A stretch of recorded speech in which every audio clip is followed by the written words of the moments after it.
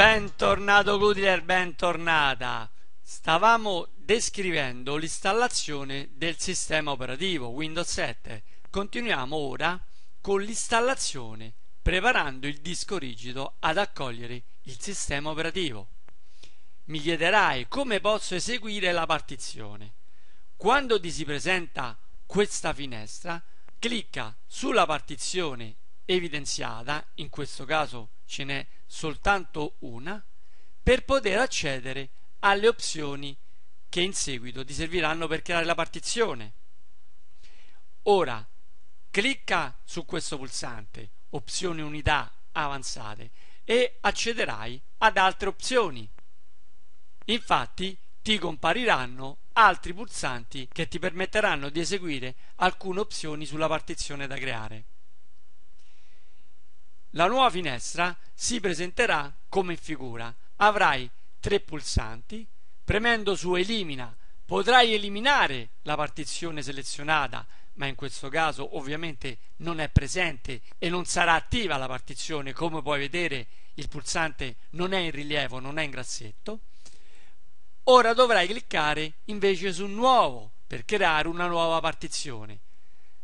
Il pulsante Formatta lo utilizzerai magari in seguito per poter formattare una partizione precedentemente creata. Quindi clicca su nuovo per accedere ad una nuova schermata.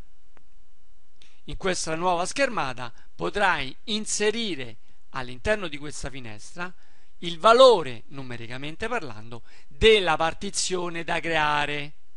Inserirai il valore corrispondente alla nuova dimensione della partizione che dovrai creare dopo aver inserito il numero in megabyte, potrai attivare la nuova partizione cliccando su Applica. Che valore vorrai inserire? Beh, diciamo che un valore orientativo di 30 GB, quindi 30.000 MB, potrà essere più che sufficiente all'inizio. Inserisci all'interno di questa sezione 30.000 MB e clicca su Applica per creare questa nuova partizione un messaggio di allerta di notifica ti comunicherà che il sistema operativo creerà anche una nuova partizione, ma da 100 MB in questo caso specifico, per lavorare. Infatti sarà una partizione riservata al sistema. Dovrai cliccare su OK oppure conferma semplicemente premendo il tasto invio sulla tastiera. Come puoi ben vedere, a questo punto avrai una partizione creata direttamente dal programma di installazione partizioni di 100 MB che sarà riservata a Windows 7 la partizione da te creata orientativamente da 30 GB e uno spazio residuo che ti permetterà di creare una partizione in seguito per memorizzare i tuoi dati. Ora se vorrai potrai cliccare su questa partizione e premendo sul pulsante formatta potrai formattare questa partizione. Essendo comunque il disco vergine non ti sarà necessario. Infatti dovrai semplicemente evidenziare questa partizione e cliccare su avanti per continuare l'installazione del sistema operativo. Infatti dopo aver cliccato su avanti si aprirà questa schermata che durerà un tempo abbastanza ampio, tale da permetterti un piccolo break con il passare del tempo qui compariranno dei segni di spunta per indicare che le rispettive operazioni sono portate a termine e qui la barra incrementerà il colore verde per indicarti il proseguio dell'installazione.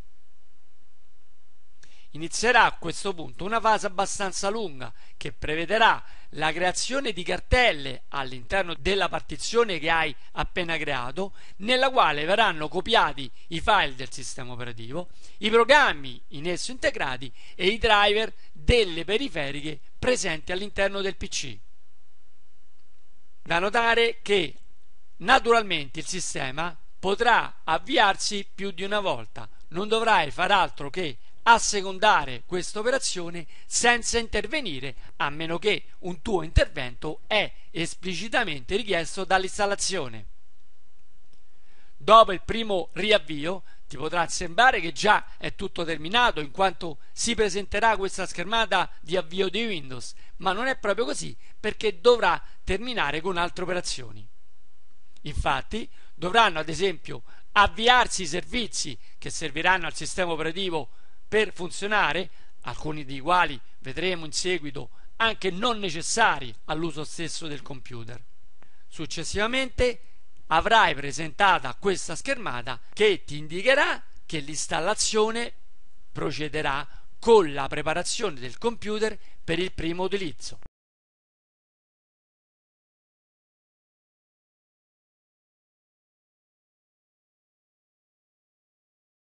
A questo punto clicca pure su personalizza, accederai a una partizione che ho creato grazie a una macchina virtuale per questa specifica lezione, partizioni di 127 GB. Clicca ora su opzioni per accedere ad altri pulsanti che interagiranno sulla partizione stessa. Il pulsante elimina eliminerà la partizione selezionata formatta formatterà la partizione. Ora clicca sulla partizione e sul pulsante nuovo si aprirà una finestra all'interno della quale dovrà inserire il parametro di dimensione da te scelto, ossia 30 GB, 30.000 MB. Dopodiché, cliccando su Applica, ti verrà notificata la creazione di una partizione necessaria a Windows per il suo lavoro e, selezionando su OK, darai luogo alla creazione delle partizioni. Ecco le tre partizioni generate, quella da 100 MB riservata al sistema, quella da 30 circa dove installerai il sistema operativo e quella che ti permetterà di memorizzare i tuoi dati. Clicca su Nuovo, nella nuova finestra clicca su Applica e verrà creata una partizione dello spazio residuo nella quale potrai memorizzare i dati. Ora clicca sulla partizione da 30 GB e su Avanti. Da questo momento in poi inizierà l'installazione vera e propria e durerà diversi minuti. Per ovvie ragioni didattiche ho ridotto questa fase dell'installazione a pochi secondi, ma questo è quello che avverrà nell'arco di pochi minuti. Al termine il sistema inizierà una fase che procederà il riavvio, fase che potrai interrompere cliccando anche su riavvia ora. Il computer si riavvierà automaticamente, ma al termine di questa fase non si avvierà subito Windows 7 in quanto dovranno avviarsi i servizi del sistema operativo e subito dopo questa fase avrai la schermata di preparazione del computer per il primo utilizzo, schermata che durerà qualche secondo prima del tuo intervento.